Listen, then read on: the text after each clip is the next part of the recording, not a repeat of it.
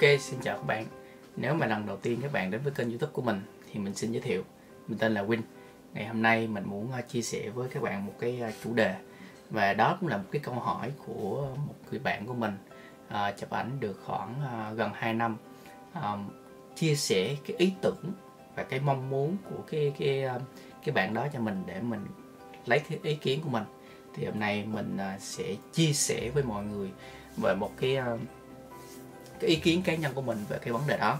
Cái chủ đề ngày hôm nay mình sẽ chia sẻ đó là về cái việc là mở studio sau khoảng à, 1 tới 2 năm mình làm việc.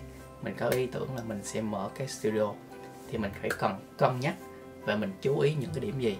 Thì đây là cái kinh nghiệm của mình muốn chia sẻ với mọi người. Thì đầu tiên là mình sẽ kể cái câu chuyện mà cái ý tưởng đó.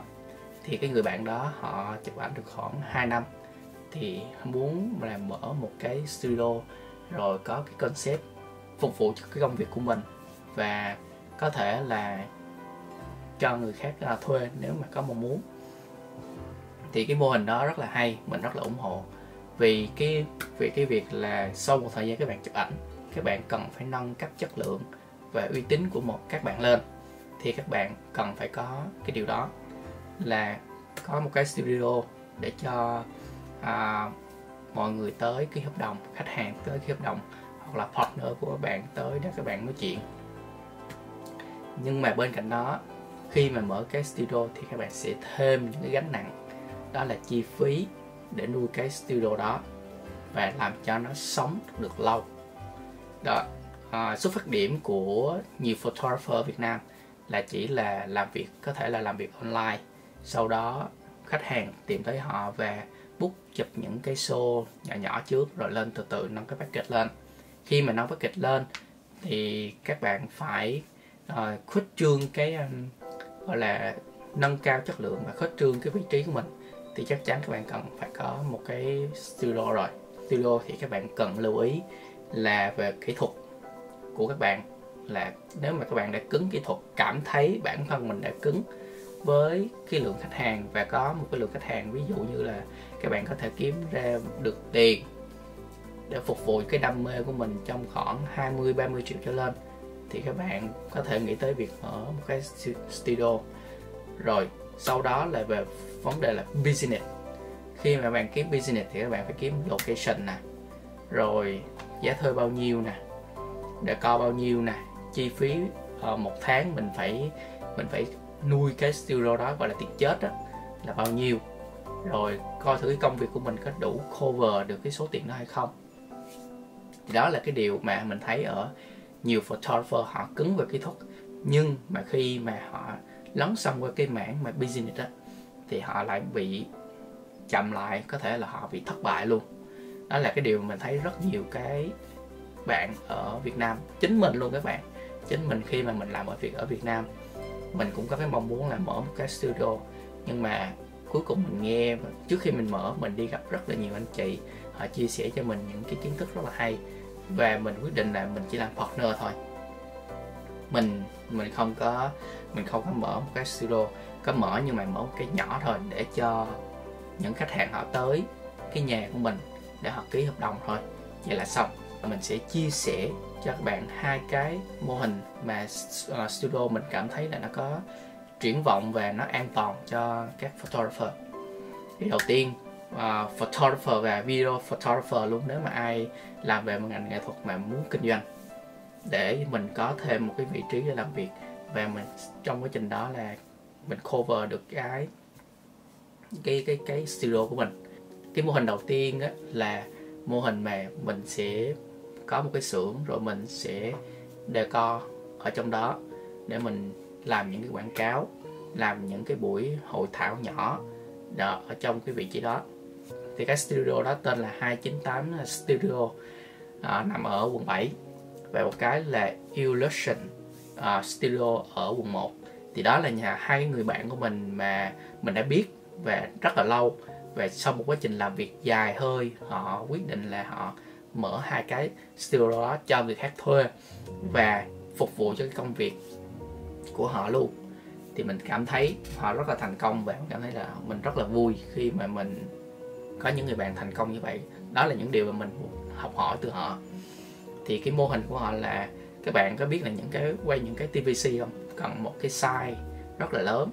Thì khi mà các bạn thuê thì các bạn có thể vô nguyên cái xưởng luôn các bạn có thể làm cảnh giả để co để quay những cái TVC hoặc là những cái người khác có thể họ dạy học dạy học về ánh sáng họ có thể vô đó luôn rồi thì nếu mà các bạn muốn thích mô hình đó các bạn muốn trải nghiệm trực tiếp thì các bạn có thể uh, khi mà một cái project nào của các bạn á, muốn chụp á, thì các bạn có thể book những cái studio á, để mình có thể trải nghiệm và mình biết cái cái cách thức hoạt động của cái uh, studio á thì cái cái studio nó thành công khi là nó sản xuất, nó làm ra mà nó cho thuê được. Nó cho thuê được để cho cái người chủ của cái studio á, họ cảm thấy không bị áp lực. Và họ có một cái nguồn tiền họ nuôi được cái studio, và cái tiền của họ làm á, họ có thể trả cho bản thân và có thể mua sắm thêm thiết bị để cho đầu tư cho cái studio nó lớn mạnh hơn. Thì đó là cái mô hình mình cảm thấy rất là thành công. Một cái mô hình khác mà mình muốn chia sẻ đó là cái mô hình của cái việc mà chụp ảnh cưới đi. Chụp ảnh cưới. Thì mình lâu lâu mình cũng có chụp ảnh cưới.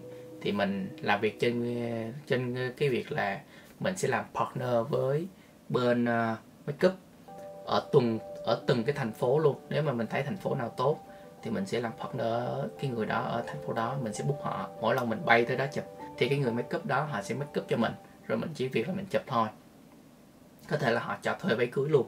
Thì mình mình cảm thấy mô hình đó rất là hay.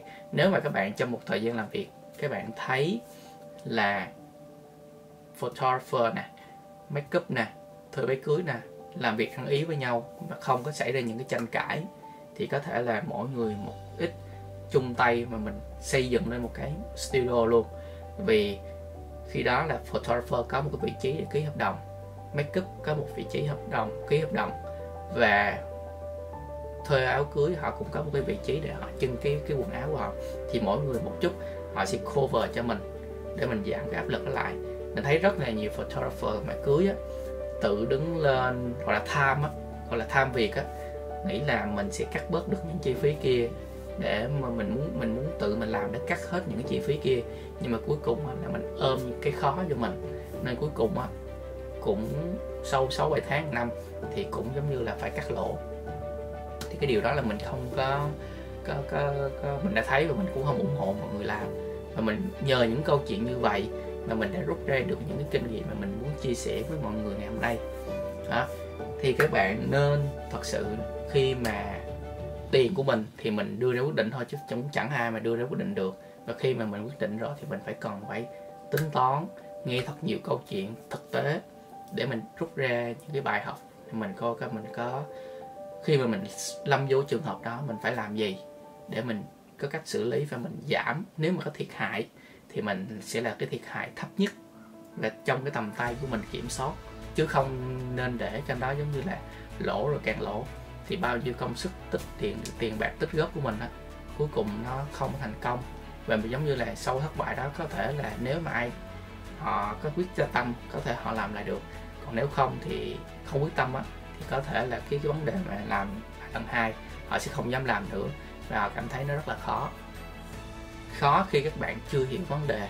Nếu mà các bạn đã đủ trải nghiệm các bạn hiểu được cái vấn đề thì chắc chắn các bạn sẽ làm thành công. Thì mình chúc các bạn khi mà mở một cái studio ra các bạn luôn luôn thành công. Và hãy nghĩ tới cái việc phát triển của của cái studio đó về hướng business để cho mình không có bị rơi vào những cái tình trạng khó khăn. Thì mình sẽ xin off cái video tại đây và cảm ơn các bạn rất nhiều đã xem video. Và nếu mà các bạn có những thắc mắc về cái việc mà mở studio trong cái cái cái cái chủ đề này, các bạn hãy comment bên dưới. Mình biết những cái gì mình sẽ hỗ trợ mọi người vì mình muốn, rất là muốn chia sẻ những cái năng lượng tích cực đến cho mọi người, để cho mọi người ngày càng làm việc tốt hơn và có nhiều tiền hơn. Cảm ơn các bạn rất nhiều và hẹn gặp lại các bạn ở những video tiếp theo. Chào tạm biệt và hẹn gặp lại.